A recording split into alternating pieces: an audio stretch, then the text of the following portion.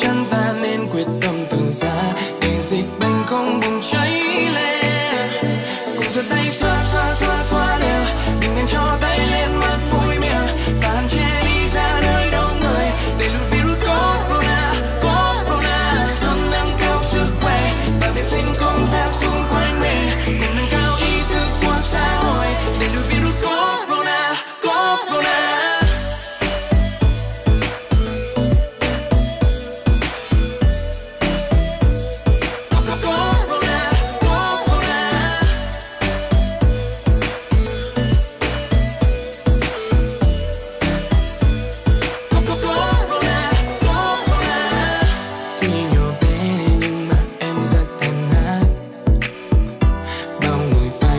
watching